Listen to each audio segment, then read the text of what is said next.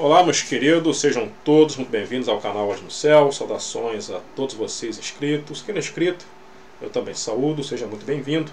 Hoje é dia 1 não, dia 2 já, dia 2 de agosto de 2019. Os dias estão passando muito rápido. Meus amados, eu achei de extrema importância fazer a gravação desse vídeo, pois muitos dos senhores estão em dúvida e estão me pedindo uma opinião a respeito do astro intruso, do Nibiru, do Hercólobos, se ele já cruzou ou não. Primeiramente, eu venho dizer que não quero colocar nada na cabeça de ninguém. Quem quiser achar que o Nibiru já cruzou, bem, perfeito. Tá? Mas eu vou explicar, vou dar meu parecer, o porquê que Nibiru não cruzou. Ou melhor dizendo, Nibiru pode ter cruzado sim, mas há milhares de anos, e não nos tempos atuais. Tá? Como disse Ferrada, o astro não vai passar desapercebido. E outra coisa, ao meu ver, ao meu entender, conforme eu venho pesquisando, Nibiru e Hercólobos é o mesmo astro. Tá? Nibiru e Hercólobos são os mesmos corpos. É, lembrando também que o nome é de menos. Nibiru, Hercólobos, Estrela da Morte, Marduk. O nome é de menos. O que importa é os danos, meus amados. É os danos que tal astro possa causar, o que ele pode causar. É isso que temos que ter em mente. Fatores magnéticos, gravitacionais, implicando, destruindo o núcleo planetário. Tá ok? Eu vou explicar aos senhores que um objeto, ou seja, pode ser até mesmo um planeta pequeno, se ele cruzar no sistema solar, isso aqui, ó, do cinturão do asteroide, para cá chamado sistema solar, a parte interior, onde ficam os planetas telúricos, Mercúrio, Vênus, Terra e Marte, né? ou seja, o sistema solar interior. Qualquer objeto que cruze esse sistema solar interior ele vai ser visível, tá ok? Principalmente o planeta. Qualquer planeta, dependente da sua massa, ele vai ser visível com telescópio. E dependendo, se for grande, vai ser visível a olho nu, assim como vemos Saturno, Júpiter a olho nu, Vênus. Se um planeta, um corpo celeste cruzar, vamos ver, meus amados, a chance é de 90% de ser visto. Ok? Então eu vou, eu vou explicar aos senhores que não é tão simples assim um corpo celeste de grande porte cruzar no sistema solar praticamente o planeta não sentir abalo nenhum. Isso não existe. Tá ok? Eu vou, dar, eu vou explicar como exemplo a teoria da relatividade de Einstein. Essa teoria, meus amados, ela não pode ser quebrada. Não pode ser quebrada. A astrofísica ela não pode ser quebrada, derrubada de qualquer maneira. Não pode, as coisas não podem ser de qualquer maneira. Lembrando, para quem quiser achar que já cruzou, beleza. Só estou dando o meu parecer. Meu parecer perante aos inscritos.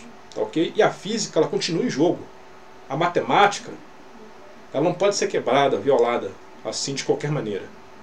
Tudo tem uma dinâmica, tá ok? Bom, eu peço perdão pelo, pelo, pelo esboço, tá ok? Mas devido à correria, do ritmo né, do cotidiano, trabalho, etc., falta pouco tempo né, para fazer algo assim bem, bem elaborado. Mas vamos lá.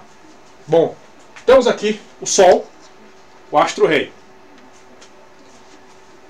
planeta Mercúrio, Vênus, Terra, Marte. O cinturão de asteroides. Logo após o cinturão de asteroides, o planeta rei, Júpiter. Eu ainda escrevi aqui em vermelho. Atenção. O monstro, né, Nibiru, não passou. Tá? Não passou. Exclamação. Bom, o sistema solar ele é composto por oito planetas. Aqui, agora que eu vou entrar na teoria da relatividade de Einstein. Temos nove, oito planetas, vamos dizer assim. Mercúrio, Vênus, Terra, Marte, Júpiter, Saturno, Urano e Netuno. Consequentemente, as luas. A nossa lua, no caso de Marte, Phobos e Deimos, Júpiter tem 69 luas. Vejam só.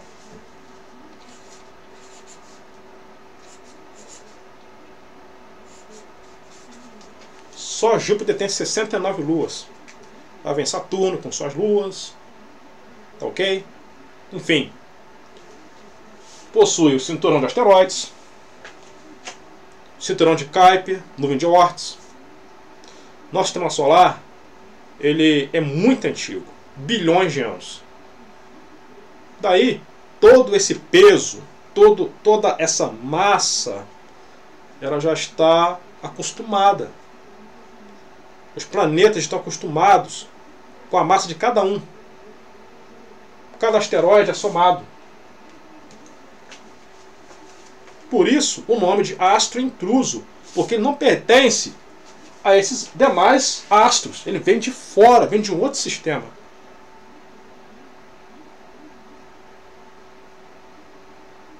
Porque ele é intruso, é invasor. Quando acontece isso de um astro invasor adentrar no nosso sistema solar, acontece uma tamanha confusão. E não só na Terra, mas nos demais planetas. Todos os planetas, os asteroides, vão sentir abalados os asteroides vão ter as órbitas alteradas. Por causa de quê? Da gravidade. No universo temos quatro forças. Quatro forças que atuam diretamente. Uma delas. Eu vou escrever aqui, ó, que dá.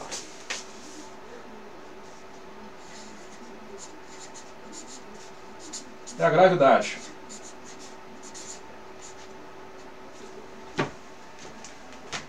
É a força mais fraca, porém é a mais enigmática. Depois.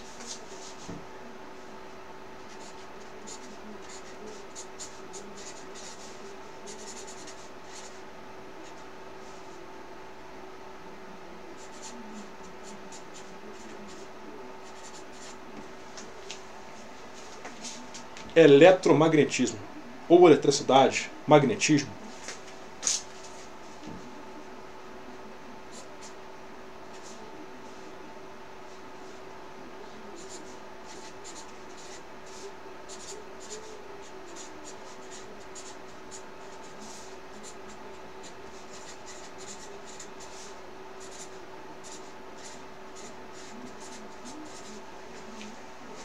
em seguida as forças de fusão nuclear e de fissão.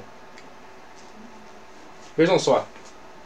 Fusão nuclear, quando os, os núcleos atômicos se unem. Fissão, quando acontece uma quebra do núcleo atômico. Tá? Ambas forças liberam energia, só que no meio no modo de fusão nuclear libera-se muito, muito mais energia do que em modo de fissão. Então essas quatro forças aqui interagem no universo. Tá? Bom, quando falamos Nibiru, astro intruso, qualquer coisa invasora, automaticamente essas duas forças entram em jogo, a gravidade e o eletromagnetismo. Pois bem, pois bem. Ah, falando agora de gravidade. Vejam só. Como eu disse, os planetas estão acostumados. Ou seja, toda a massa do nosso sistema solar está acomodada. Acomodada. Vamos imaginar se Nibiru ou qualquer planeta, não importa o nome, cruzasse do sistema solar interior, bem aqui, fazendo essa órbita, e fosse embora. O que, que ia acontecer? Ia causar um grande transtorno no cinturão de asteroides. Automaticamente, vários desses asteroides seriam arremessados para dentro do sistema solar. Iriam pegar asteroides em Marte, principalmente na Terra principalmente na Terra. Tá? Principalmente. O Sol emitir tanto plasma, tanto plasma, devido à presença desse corpo, que eu não sei se a gente já está aqui. Lembrando que o plasma que o Sol emitiu entre 2012, 2014, 2015 foram por causa do cometa Elenin, do cometa Encke, cometa Ison, cometa 2P, Assim como o Panstaras passou em 2017, o Sol emitiu muito plasma, mas não suficiente para incinerar a Terra, para devastar a Terra. Porém, se um planeta, um planeta massivo cruzar próximo do Sol, aí sim, aí sim a quantidade de emissão de massa coronal vai ser destrutiva, porque é muita massa. Continuando com gravidade. O cinturão aqui seria todo perturbado, ia ser lançado em cima, jogado em cima, em cima de nós Muitos asteroides. Bom, é, agora vamos imaginar o seguinte: uma piscina. Colocamos uma boia na piscina. O que vai acontecer? Vai emitir uma onda. Tá? Só de encostar o dedo na piscina, emitir uma onda. Uma onda se propaga. No espaço é assim também. É aí que entra a teoria de Einstein. A segunda boia. Colocamos outra boia nessa piscina. Vai emitir uma outra onda. Colocamos a terceira boia. Vai emitir outra onda. A quarta e a quinta boia. Colocamos cinco boias na piscina. Vai chegar um momento que a, as boias vão ficar assim e as ondas vão se propagar. Mas vai chegar um instante em que elas vão se acomodar. Elas vão ficar acomodadas e a água vai parar de balançar, de sacudir. Pois bem, aí que entra o acho intruso. Colocamos uma sexta boia nessa piscina. O que, que vai acontecer? Ela vai emitir uma onda. E essa onda vai afetar as cinco boias que estavam ali acomodadas já há algum tempo. É a mesma coisa o sistema solar. Os planetas, os asteroides, eles estão acomodados em um único espaço. Algo invasor vai emitir uma onda. Uma onda. Uma onda. Porque ele não faz parte do sistema. Vai emitir uma onda. E essa onda causa, causaria terremotos poderosos acima de 10, vulcões iriam acordar com muito mais frequência.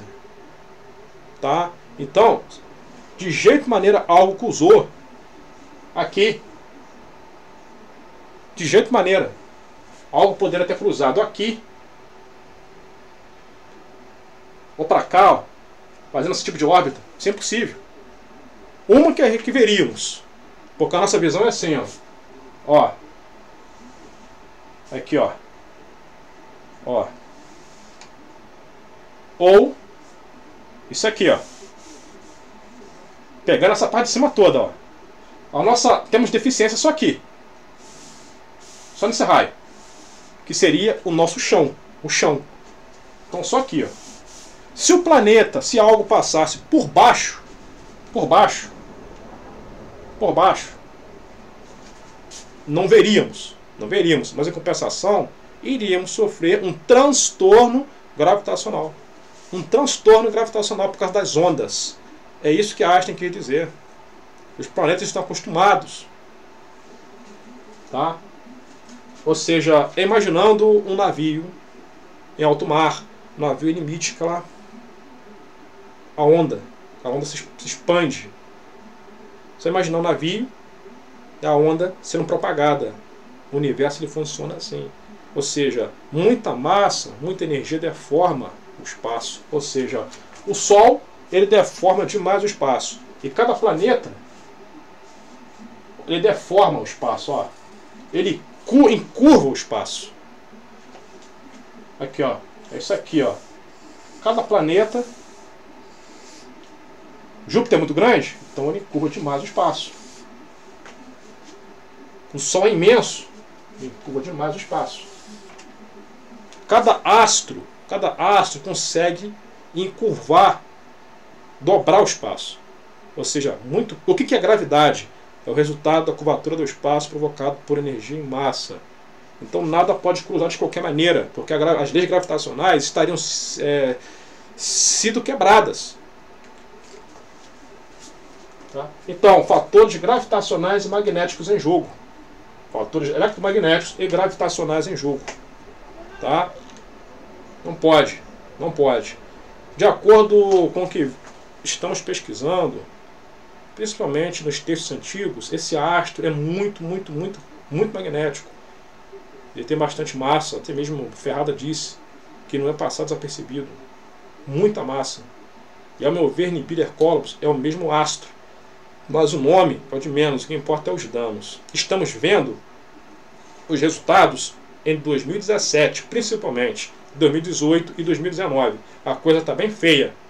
As inundações, o aquecimento dos oceanos, os meteoros estão chegando com maior frequência, eu venho registrando isso.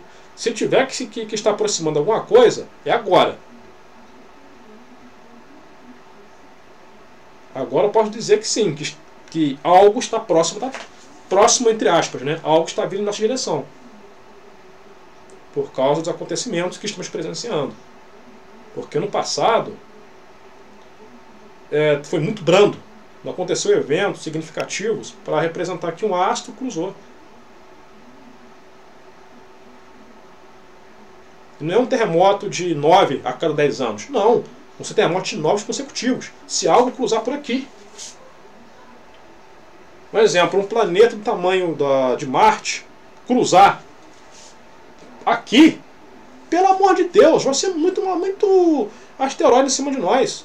Por que, que eu estou falando isso? Porque é uma coisa intrusa.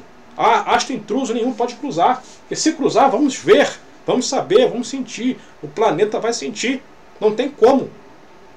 O planeta vai sentir. E vai ser imediato. Terremoto acima de 10. 9.5. Não vai ser um só, não. São vários. Todo mundo vai sentir.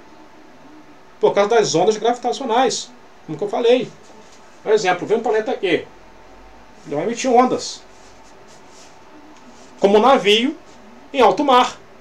Ele não cruza aquelas várias ondas. Não é isso? Não dá onda. Então, justamente, algo atravessar por aqui, algo de fora, tá? Isso aqui interfere no núcleo planetário de cada planeta, não só a Terra, mas todos os corpos vão sentir as consequências. E muito. E muito. Tá? Então sei que gostaria de deixar, deixar claro para os senhores. Tá ok? Ao meu ver, acho que nenhum passou aqui. Mas quem quiser achar que cruzou, beleza. Tá ok? Mas eu estou mostrando aos senhores como o universo funciona. E foi Einstein que disse. Ó. Newton também. E aí? O universo funciona mais ou menos assim. um corpo do tamanho de Mercúrio, vindo de fora, causa uma, um tremendo é, merdelê. Agora, agora, se algo estiver vindo atrás de Júpiter, entre Saturno, bem lentamente, vamos sentir os efeitos de pouco a pouco. Um terremoto aqui de 9, um terremoto de 8, um vulcão ali, um vulcão aqui, tudo bem. Vamos sentir, de pouco a pouco. À medida que algo vem se aproximando, vamos sentindo. Por quê? Porque de fora ele está emitindo, vindo de longe, ele vai emitindo ondas. De pouco a pouco. Aí de pouco a pouco vamos sentindo os efeitos. Agora, se algo cruzou e foi embora, e não sentimos praticamente nada, aí está estranho. Tá ok? Aí, sinceramente, viola as leis da, da astrofísica. Tá ok, meus amados? Muita paz muita luz a todos. E até a próxima.